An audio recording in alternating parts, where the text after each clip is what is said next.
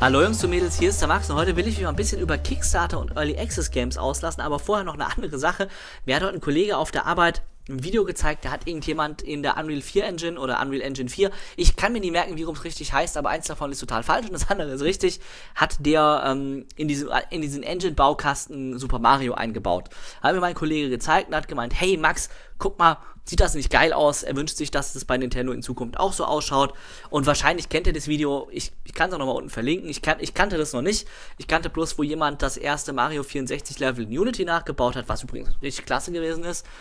Und habe ich mir das angeguckt, habe gesagt, hey, das sieht super aus, keine Frage aber ich finde, Mario wirkt da drin einfach schlicht und ergreifend deplatziert.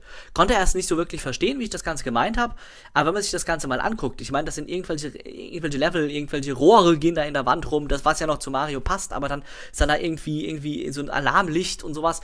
Das sieht realistisch aus, ja, aber das sieht einfach schlicht und ergreifend nicht nach einem Super Mario Game aus.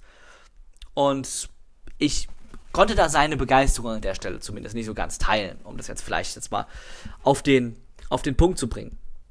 Und das nächste ist, ähm, es hat letztens irgendjemand auf Twitter geschrieben, er hat den Eindruck, ich stehe so dieser ganzen Early Access Geschichte und Kickstarter Sache etwas feindselig gegenüber. Und da kann ich an der Stelle sagen, naja, das, ja, das ist schon nicht ganz verkehrt. Das kann man nicht anders sagen, denn was mir bei vielen Early Access Spielen zu Kickstarter kommen gleich, Kickstarter ist an sich absolut grandiose Geschichte. Ähm, das, was mir bei vielen Early Access Spielen fehlt, ist tatsächlich, ich weiß nicht, wie ich es anders beschreiben solle, äh, wie ich es anders beschreiben soll, mir fehlen bei vielen Early Access Spielen, und ich meine, man muss natürlich damit einbrechen, es ist Early Access, das ist noch nicht fertig, ja, das äh, ist, wenn man Glück hat, nicht mal richtig lauf, äh, wenn man Pech hat, nicht mal richtig lauffähig, aber mir fehlen einfach bei vielen Kicks, äh, bei vielen ähm, Early Access Spielen so die Anklänge von Qualität. Oder ich hoffe, man versteht jetzt das, was ich meine. Also ich meine, auch wenn ein Spiel wirklich unfertig ist und wenn ein Spiel noch lange Zeit braucht, bis es ordentlich lauffähig ist, wenn noch viel fehlt, wenn da Platzhalter drin dann ist vollkommen egal. Ähm, wenn dahinter eine gute Idee steckt, wenn dahinter Leute stecken, die ihren Job verstehen, ähm, wenn, es, wenn es ein durchdachtes Konzept ist, dann erkennt man das in Ansätzen. Auch bei einem Early Access Game. Und es gibt einige Early Access Games, die mit Sicherheit, ja, vielleicht nicht ganz so schlecht sind, die auch viele Anhänger haben, aber zum großen Teil ist das, was es da auf Steam als Early Access gibt, einfach unfassbar großer Schrott.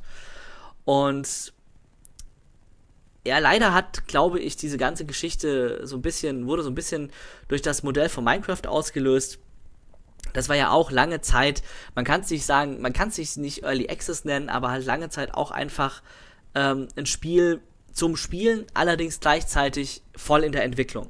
Da hat das wunderbar funktioniert. Ähm, DayZ finden auch viele Leute super. Auch ein Early Access Spiel, was, ähm, was viele Leute begeistert. Da gibt es ein paar Sachen. Natürlich was auch noch ein bisschen damit reinspielt, ist diese ganze Let's Play-Geschichte.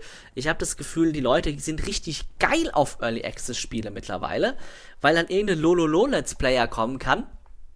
Auch wenn sich das jetzt furchtbar negativ anhört, aber wenn man das mal so anguckt, es ist einfach so. Ähm, dann irgendwie irgendwelche unfertigen ähm, Early Access Spiele zeigt, dann irgendwie, irgendwie funny Moments damit macht und dann hat das Spiel so ein Mini-Hype. Viele kaufen sich das Early Access mäßig und ja, dann ist der Hype wieder vorbei. Das geht ganz, es ist wirklich Mini-Hype oftmals, nur so zwei, drei Tage. Und dann ist wieder gut. Und vielleicht, wenn man Glück hat, kommt das Spiel irgendwann mal raus. Vielleicht sogar ganz gut. Es interessiert sich kein Schwanz mehr dafür. Das ist leid, das ist, ist schade an der Stelle, denn ähm, man sieht da durchaus auch die ein oder anderen Sachen, die gar nicht so übel sind. Ähm, aber was halt ein bisschen bedenklich ist bei der ganzen Geschichte, dass es vielleicht dadurch halt wirklich auch die Leute dazu verleitet, wirklich noch größeren Schrott da drauf zu stellen, in der Hoffnung, man kann da vielleicht was abgreifen und hat noch, hat überhaupt keine, keine Ambition oder überhaupt keine Fähigkeiten, überhaupt ein Spiel fertig zu entwickeln. Was man da teilweise als Early Access sieht, das ist ja absolut haarsträubend. Das ist wirklich haarsträubend.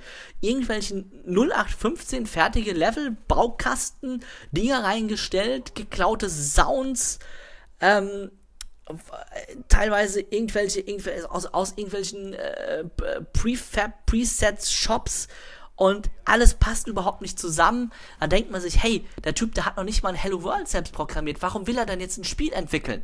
Und das ist wirklich das, was ich mir bei vielen Early Access Spielen denke. Nichtsdestotrotz gibt's einige wenige gute Beispiele, das steht außer Frage, aber der größte, der größte Teil von Early Access Games auf Steam ist einfach Schrott. Und da sind wir wieder bei der, bei der allgemeinen Sache, was ich schon oft gesagt habe, 90% ist scheiße, egal von was.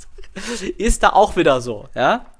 Ähm, und deswegen kann ich, kann ich äh, es nicht verstehen, wie man manche Sachen da so extrem hypen kann und so, so ähm, übertrieben geil drauf sein kann. Ja, machen wir Early Access, machen wir hier Early Access. Der meiste Kram bei Early Access ist einfach Schrott. Ähm, kommen wir als nächstes zu Kickstarter. Gegen Kickstarter habe ich überhaupt gar nichts.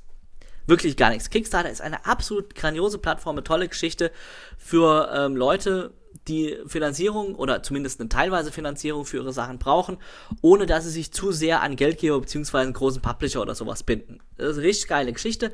Kickstarter muss vor allem auch mal ordentliches Konzept geschrieben werden, wo man dann schon mal erkennen kann, was haben die eigentlich vor. Das, was bei Early Access Spielen, die einfach so dahin gekotzt werden, oftmals fehlt. Und ähm, beispielsweise, fuck, ich habe vergessen, wie es heißt. Leute, wenn ihr wisst, wie es heißt, es war in aller Munde von den Banjo Kazooie Leuten auf Kickstarter. Habe ich auch, ich, kann, ich könnte, ich könnte doch mal nachgucken. Ähm, ich habe keinen Schimmer mehr, wie mein Dings für für für Kicks, Kickstarter ist. Egal. Ähm, wer weiß, was ich meine, kann es auch in die Kommentare schreiben. Ähm, und das finde ich super, dass das möglich ist. Natürlich ist das oftmals so eine teilweise Finanzierung ähm, weil einfach ein Spiel unglaublich viel Kohle kostet und da viele Leute ja auch was irgendwo dran verdienen wollen und ihr Gehalt wollen und ja, das ist einfach teuer. Aber Kickstarter musste zumindest ein Konzept hinschreiben, wo man sagen kann, hey, das ist was, interessiert mich, das äh, will ich unterstützen. Das nächste ist, was viele Leute meiner Meinung nach bei Kickstarter vergessen, dass ein Kickstarter kein ähm, ich gebe Geld und bekomme in Zukunft was Tolles, was mir gefällt, ist. Ähm, das ist so, wenn alles gut läuft, ist das so. Ja. Und auch wenn ich es nicht mit einer Statistik jetzt untermauern kann, ich bin mir ziemlich sicher, beim Großteil, beim Großteil der Kickstarter-Projekte tritt das nicht ein. Es gibt genug Geschichten, die eingestellt wurden. Es gibt genug Geschichten, wo sich wahrscheinlich die Entwickler über alle Berge gemacht haben. Oder generell die Leute, die die Kampagne da gestartet haben, müssen nicht unbedingt jetzt auf rein auf, auf, auf Spiele bezogen sein. Sachen, die vielleicht fertig werden, nie das haben, was sie eigentlich haben sollten. Sachen, die fertig werden, viel zu spät. Sachen, die viel teurer geworden sind. Sachen, die dann nicht produziert werden können. Es ist voll von Gefehle. Ja, allerdings jetzt nicht im negativen Sinn, denn es ist einfach eine unglaublich schwierige Geschichte, sowas zu managen sowas auf die Reihe zu kriegen. Aber vieles geht halt einfach mal in die Hose. Und das hat man gesehen, das wird in Zukunft auch so sein. Deswegen muss einem das klar sein. Wenn man sich an einem Kickstarter-Projekt beteiligt, dass das keine sichere Geschichte ist. Das ist Risiko. Das ist Risiko. Ein Risiko, was sich gar nicht mal unbedingt so extrem lohnt. Ähm, die Sachen sind meistens, oder ich meine, vielleicht fallen euch Gegenbeispiele ein, könnt ihr auch gerne in die Kommentare schreiben. Die Sachen sind ja meistens gar nicht mal so viel teurer, wenn sie dann später fertig sind, ja. Wenn ich mir jetzt ein Spiel auf Kickstarter, wenn ich ein Spiel bei Kickstarter mitmache, geiler ist es vielleicht 20 Euro billiger, aber äh, dafür habe ich auch die Chance, mein Geld komplett in Sand gesetzt zu haben. Ich finde, Kickstarter ist, ähm, ist eine Seite, wo man auch wirklich das unterstützen kann, was man, was einem selbst nicht einfach nur, nicht einfach nur zusagt, sondern gefällt, sondern wo man wirklich auch so eine gewisse Verbindung dazu hat, wo man sagt, hey, ich wünsche mir, dass das, dass das was wird. Und ja, Wünsche müssen nicht unbedingt in Erfüllung gehen. Beispielsweise habe ich auch Camelot, äh, Camelot on, äh, Unchained ge ge gebackt auf Kickstarter das ist ähm, von dem, von einem, von Mark Jacobs heißt er, glaube ich, der frühe Mystic Entertainment-Typ, die die Dark Edge of Camelot mal ursprünglich verbrochen haben. Das ist ein Game, wo ich mir wirklich wünsche, wo ich, wo ich auch sage, hey, das will ich haben. Und auch wirklich dass man sagen kann, hey, ich weiß, das könnte genauso gut in die Hose gehen. Und ich habe da, glaube ich, irgendwie damals irgendwie Silbertier und sonst was gekauft, irgendwie für 200 Dollar, eigentlich total gestört. Aber wie das so ist, wenn man emotionale Bindungen zu gewissen Sachen hat, dann ist das nicht unbedingt so realistisch, wie man sich da verhält. Und für sowas ist Kickstarter wirklich äh, eine super Geschichte. Ähm, wer jetzt irgendwie erwartet, auch, und das erwarten anscheinend viele, weil ich das ganze Geflame ja immer bei jedem gescheiterten Kickstarter-Projekt so ein bisschen mitverfolge, oder bei jedem etwas größeren Kickstarter-Projekt, viele erwarten das. Die sagen, hey, ich habe jetzt 50 Euro ähm, da reingesteckt, das muss jetzt was werden. Wahrscheinlich wird's nix. Das muss einem halt einfach klar sein. Ist ein bisschen wie bei Early Access. Da kaufe ich auch die Katze in den Sack. Und wahrscheinlich kommt nie was Gescheites bei raus. Aber vielleicht auch doch. Ja, und umso besser, wenn das eine Sache ist, ich von, wo ich von Anfang an gesagt habe, hey, das wäre doch mal was. Und da war ich von Anfang an dabei. Ich habe sogar schon das Kickstarter-Projekt unterstützt damals. Lange bevor es rausgekommen ist. Und jetzt ist was richtig Geiles geworden. Ist natürlich auch eine super Geschichte. Kann man sich dann freuen. Wirklich was von haben. Tut man auch nicht. ja, das war mal meine 5 Cent zu, zu Early Access und Kickstarter. Ich weiß, dass zu Early Access klingt vielleicht ein bisschen negativ.